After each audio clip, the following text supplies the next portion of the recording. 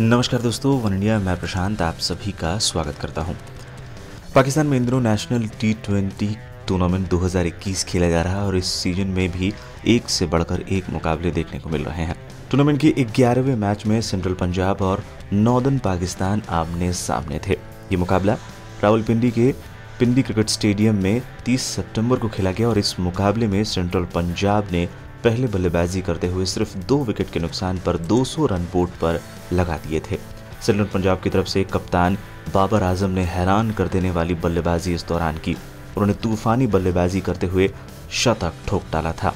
जी हाँ पहले बल्लेबाजी करने उतरी। सेंट्रल पंजाब की तरफ़ से अहमद शहजाद ने 20 गेंदों पर 37 रनों की ताबड़तोड़ शुरुआत दी। वहीं बाबर आज़म अंत तक नाबाद रहते हुए तिरसठ गेंदों पर 105 रनों की शानदार पारी खेली।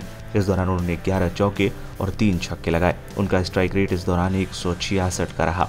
बाबर आज़म का शुएब मलिक ने भी भरपूर साथ निभाया और 21 गेंदों पर 31 रनों की पारी खेली और इन दोनों की पारी के दम पर टीम ने बोर्ड पर 200 रन बोर्ड लगा दिए। आपको बता दें, इसी के साथ ही बाबर आज़म ने कई बड़े रिकॉर्ड्स भी अपने नाम कर लिए। आपको बता दें टी ट्वेंटी क्रिकेट में बाबर की ये छठी सेंचुरी थी। अब पाकिस्तान में वो सबसे ज़्यादा टी ट्वेंटी शतक लगाने वाले बल्लेबाज बन गए हैं।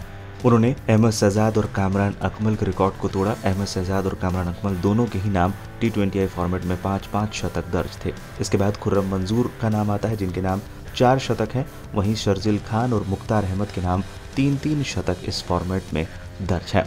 आपको बता दें, बाबर इसी के साथ ही नौवे बल्लेबाज दुनिया के बन गए, जिनके नाम अब टी ट्वेंटी क्रिकेट में छः शतक दर्ज हैं। आपको बता दें टी ट्वेंटी क्रिकेट में सबसे ज़्यादा शतक लगाने का रिकॉर्ड अभी भी वेस्टइंडीज़ के दिग्गज क्रिस गेल के नाम है, जिन्होंने इस फॉर्मेट में 22 शतक ठोके हैं।